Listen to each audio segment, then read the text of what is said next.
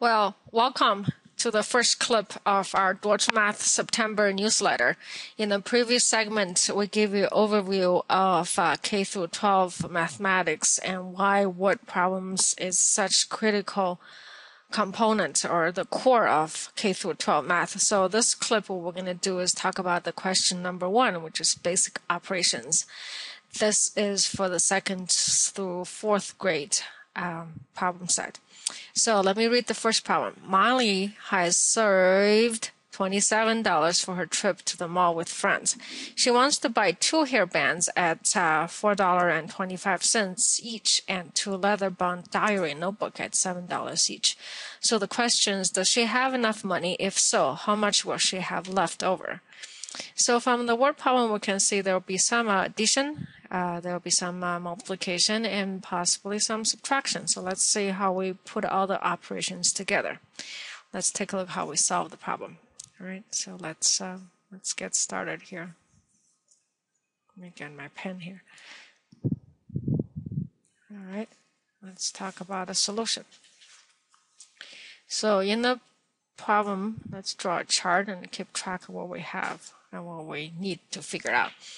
I always advise my students to divide the paper to about two third and one third division. You know, this side is their scratch paper and this side is uh, their work area. So that this way you separate the scratch paper from the work area. That's easier for teacher to keep track and it's easier for the student to, to keep track of what's going on here. So let's take our take our shopping list right over here. Okay we need to buy two of hairband at uh, $4.25 each. And then we need to buy two notebook at $7 each. And what we saved is we have here is $27. The question is, do I have enough? To see what we needed to uh, have to buy $4.25 hairband, we can either use addition, when it's simple enough, we can use addition, $8.50, or of course we can use multiplication.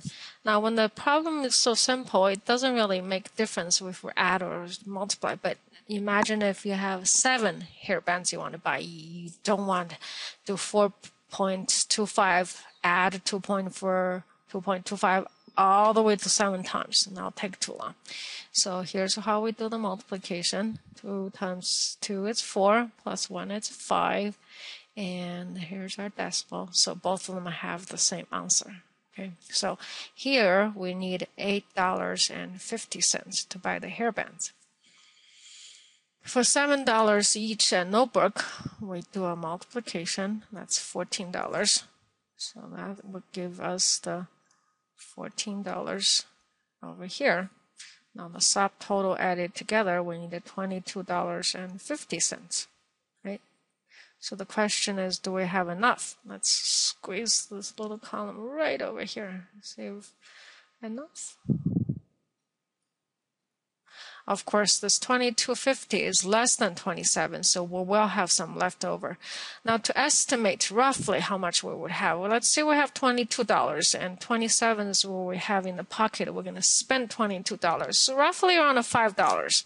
Since it's 2250, it's a little more than $22. So we'll have a little less than $5 it's a good idea to estimate roughly how much you have before you do the um, operation. The reason is that you have done two checkings by the time you arrive the answer. All right. Let's take our math over here. Let's see how much exactly do we have left over. To take the leftover, we'll need subtraction. So here's, we need to borrow, right? And this becomes 6. 6 minus 2 is 4 as we estimated, we have roughly $5, a little less, right? So our leftover, left over is $4.50. So, um, yes, she will have enough and she will have $4.50 left over. All right? Have a confident day.